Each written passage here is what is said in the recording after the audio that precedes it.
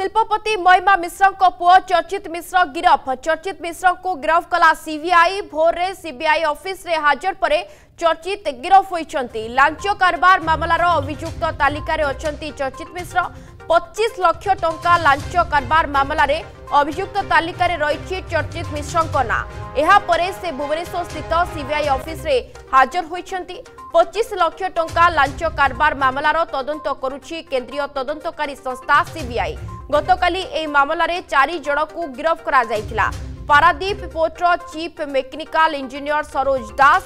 के group manager port operation Shankhashubh Mitra ठिकादार Sumanta Raut और OCA संस्थार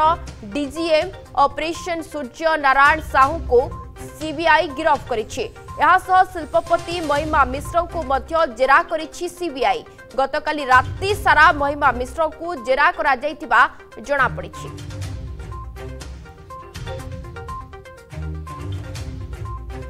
ଶିଳ୍ପପତି ମହିମା ମିଶ୍ରଙ୍କ ପୁଅ ଚର୍ଚ୍ଚିତ ମିଶ୍ର ଗିରଫ ଏପଟେ ମହିମା ମିଶ୍ରଙ୍କୁ ରାତି ତମାମ ସିବିଆଇ ଜେରା କରିଛି ବିସ୍ତୃତ ଭାବରେ ଆଲୋଚନା ଖବର କରିବା ଖବରକୁ ନେଇ ସନ୍ତୋଷ ଜେନା ମୋ ଭୁବନେଶ୍ୱର ପ୍ରତିନିଧି ଆମ ସହିତ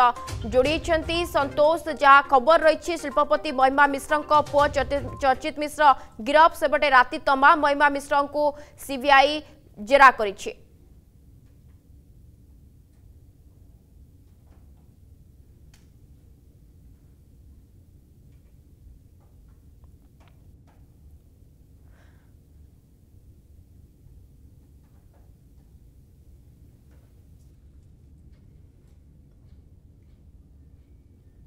তেবে সন্তোষ রাম প্রতিনিধি আম সহ যোড়াই সন্তোষ শিল্পপতি মহিমা মিশ্রক পুয় চর্চিত মিশ্র গিরফ অন্যপটে মহিমা মিশ্রক রাতে তমাম সিবিআই জেরা করেছে দেখুন নিশ্চয় বড় কথা হচ্ছে নিবেদিতা বর্তমান সময়ে যা বড় খবর আসি পৌঁছিছি মহিমা মিশ্রক সান পুয় চর্চিত মিশ্রক গিরফ করাইছি পূর্বরু উভয় বাপা পুঙ্কু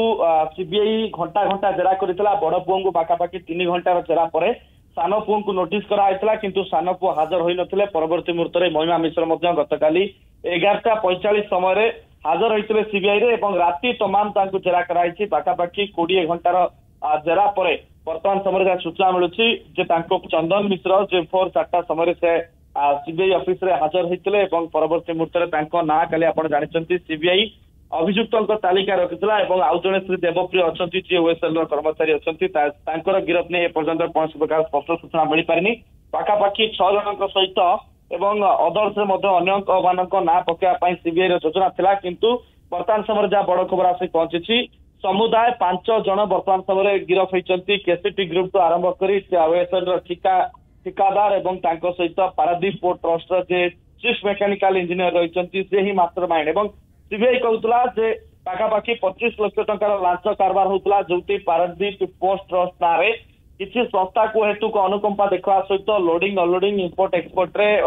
ବିଭିନ୍ନ ପ୍ରକାର ସହଯୋଗ କରିବା ଏବଂ ଇଲିଗାଲି କିଛି ସଂସ୍ଥାକୁ ସାହାଯ୍ୟ ସହଯୋଗ କରିବା ଏ ମାମଲାରେ ସିବିଆଇ ରେଡ୍ ପକେଇଥିଲା ପରବର୍ତ୍ତୀ ମୁହୂର୍ତ୍ତରେ ପାଖାପାଖି ଚଉରାଅଶୀ ଲକ୍ଷ ପଚାଶ ହଜାର ଟଙ୍କା ବିଭିନ୍ନ ସ୍ଥାନରୁ ରେଡ୍ରେ ପାଇଥିଲା ଏବଂ ପରବର୍ତ୍ତୀ ମୁହୂର୍ତ୍ତରେ ପଚିଶ ଲକ୍ଷର ଅନୁସନ୍ଧାନ ବାଟୋ ବାଟୋ ସିବିଆଇ ହାତରେ ପାଖାପାଖି ଲାଗିଥିଲା ଆହୁରି ପଚାଶ ହଜାରରୁ କ୍ଷମା କରିବେ ପଚାଶ ଲକ୍ଷରୁ ଅଧିକ ଟଙ୍କା କିନ୍ତୁ ବର୍ତ୍ତମାନ ସମୟରେ ମହିମା ମିଶ୍ରଙ୍କର ସାନ ପୁଅ ବର୍ତ୍ତମାନ ସମୟରେ ଗିରଫ ହେଇଛନ୍ତି ଏବଂ ଏହା ସହିତ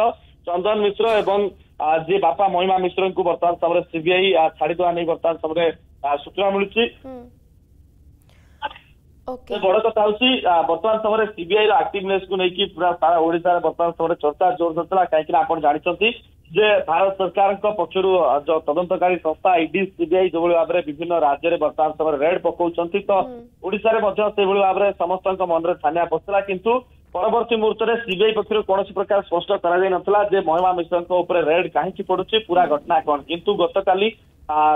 ସିବିଆଇ ପକ୍ଷରୁ ସ୍ପଷ୍ଟତାର ସହିତ କୁହାଯାଇଥିଲା ଯେ ଗୋଟେ ଲାଞ୍ଚ କାରବାର ନେଇକି ସିବିଆଇ ବର୍ତ୍ତମାନ ସମୟରେ ଖୋଲତାଡ଼ କରୁଥିଲା ଏବଂ ତା ବ୍ୟତୀତ ଏଠି ଆଉ କିଛି କଥା ନାହିଁ